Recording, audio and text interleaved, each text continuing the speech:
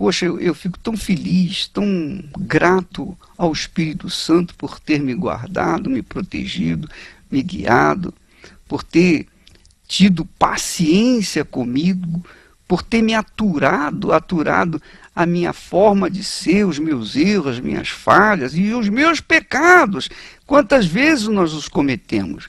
Então, Deus, na sua infinita misericórdia, preservou ou tem preservado a minha salvação por conta da fé que ele me deu. Eu guardei essa fé. Eu protegi essa fé.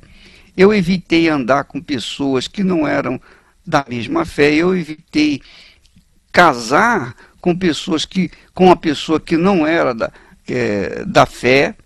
Eu, eu fiz, eu, eu abri mão de muitas coisas por conta da minha fé, porque eu queria preservá-la, eu queria guardá-la.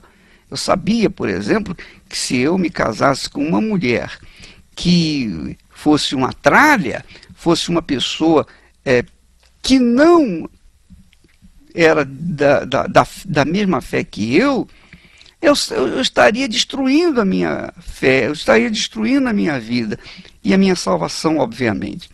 Então, eu, eu cuidei de fazer, de buscar fazer a vontade de Deus para proteger a minha fé. Quer dizer, houve uma parceria, Deus me orientou, Deus me, o Espírito Santo me, me dirigiu, me inspirou.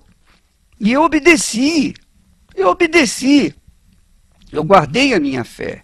Eu tenho guardado a minha fé. E guardando a minha fé, eu estou guardando a minha salvação, a salvação da minha alma.